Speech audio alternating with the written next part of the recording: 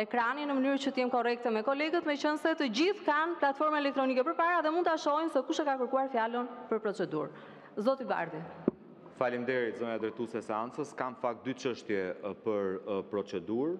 Së pari sot është e mërkurë dhe ju keni vendosur që Kuvendin e Republikës së Shqipërisë ta trajtoni si dyqanin tuaj personal. Në fakt nuk është dyqani personal i Edi Ramës dhe Partisë Socialiste, prandaj në cilësinë e drejtueses së seancës do duhet t'i shpjegoni qytetarëve, sepse ka dalë një arsye banale që është shumë fyese për secilin prej deputetëve, se pse është vendosur seanca plenare nga dita e enjte, që është një rregull i shkruar në Rregulloren e Kuvendit, neni njëzet fraksion një pika një e Rregullores Kuvendit për të mërkurën dhe ju keni detyrimin, sepse keni marrë një vendim të njëanshëm pa konsultuar opozitën në Kuvend, që të zhvendosni ditën e zhvillimit të seancës plenare nga dita e enjte, që është sipas Rregullores, në ditën e mërkurë. Dhe nëse është ajo arsye që është publikuar në media, ajo është një akt i turpshëm që turpëron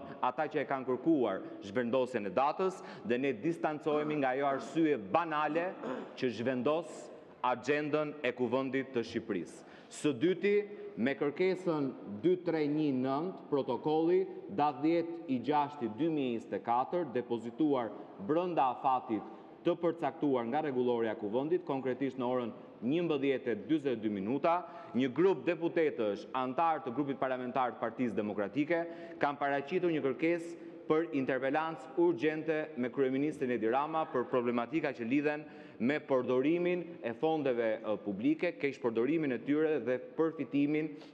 në kundërshtim me ligjin dhe në konflikt interesi të familjarëve të kryeministrit nga tenderat publik.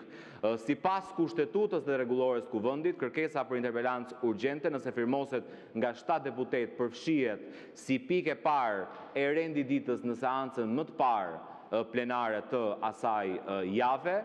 Jemi njohur me një përgjigje banale, përsëris prapë, jeni kthyer në banal, në gjithçka bëni në këtë Kuvend të kryetares së Kuvendit, që një kërkesë të deputetëve për të verifikuar dhe kërkuar llogari kryeministrit për keqpërdorimin e parave publike, na e cilësojnë si cënim të nderit dhe dinjitetit kryeministrit. Kryeministri po të kishte nder dhe dinjitet, të mos japë tendera familjarëve të tij, të mos bëjë tendera sekret, të mirëmenaxhojë fondet publike. Edhe mbi atë kërkesë, Kolegët që kanë kërkuar interpelancën, sipas nenit tetëdhjetë e nëntë pika tre, kanë dhjetë minuta në dispozicion për të shpjeguar qëndrimin e tyre. Ju jo vetëm nuk e njoftuat në njoftimet që bëtë në nisje të kësaj seancës, por pasi keni shkel Kushtetutën dhe Rregulloren me refuzimin e interpelancës, tani po shkelni dhe drejtën e kolegëve për të sqaruar seancën plenare mbi arsyet e kësaj interpelance.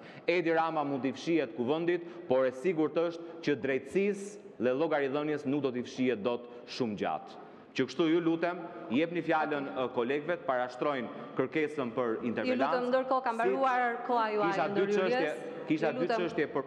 Ju mund të kishit edhe njëzet çështje, po koha e ndërhyrjes për procedurë nuk është e përcaktuar në varësi të numrit të çështjeve, kështu që duhet të kujdeseshit Të flistit brenda asaj kohe dhe ju këtë gjë e dini shumë mirë, nuk ka se mos bëjmë akrobacira me gjëra të shprehura të qartë, edhe që kanë funksionuar shumë arsyeshëm në Kuvendin e Shqipërisë. Tani, për sa i takon kërkesës tuaj të parë, lidhur me mbajtjen e seancës së sotme,